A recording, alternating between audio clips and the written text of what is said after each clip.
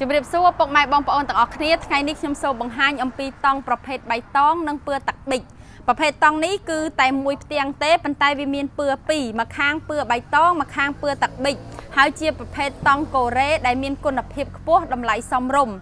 សម្រាប់តង់មួយប្រភេទនេះគឺយើងមាន3ស្តង់ដារស្តង់ដារទី1គេហៅថាសាច់លាតធម្មតា ស្តង់ដារទី2គេហៅថាលាតមានក្រវិលហើយស្តង់ដារទី3គេហៅថា មានក្រវិលហើយមានរាងអាងទៀតអញ្ចឹងសម្រាប់បងប្អូនដែលទិញតង់ម៉ូតនេះចាគឺប្រើទៅជាប់បានយូរគុណភាពរបស់វា2ឆ្នាំចុះនិង2ឆ្នាំឡើង គឺមានកវល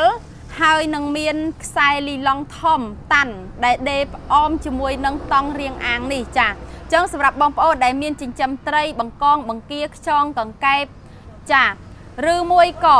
ដាំអាសូឡាបងប្អូនអាចប្រើតង់ប្រភេទនេះបានដែលគុណភាពរបស់វាគឺល្អខ្លាំងចាហើយសម្រាប់តម្លៃវិញគឺសមរម្យមែនទែននេះគឺជាសរសៃអំបោះរបស់វា ក្នុងមួយខ្សែចាដែលមានសភាពមឿមស្វិតចាអញ្ចឹងយើងហែកនៅតែដាច់ទេបើសិនជាយើងកម្លាំងខ្លាំងប៉ុន្តែបើសិនជាវាមានគ្នាច្រើន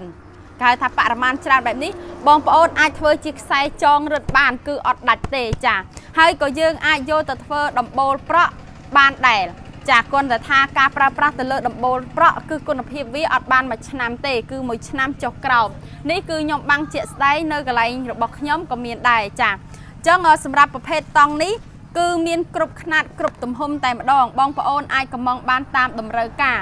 ទទឹងមានចាប់ពី2ម៉ែត្ររហូតដល់ unlimit ចា ហើយសម្រាប់បណ្ដោយគឺមានច្រើនຂ្នាតច្រើនទំហំ អញ្ចឹងសម្រាប់រៀងអាងដែលមាននៅក្នុងស្តុកបច្ចុប្បន្នគឺតតឹង2បណ្ដោយ5កម្ពស់4ទឹកតតឹង3បណ្ដោយ5កម្ពស់4ទឹកសម្រាប់ຂណាត់ចេញជារាងអាងឬក៏ស្រះផ្សេងផ្សេងបងប្អូនអាចខលទំនាក់ទំនងមកកាន់នាងខ្ញុំផ្ទាល់តាក់ទងជាមួយនឹងតម្លៃ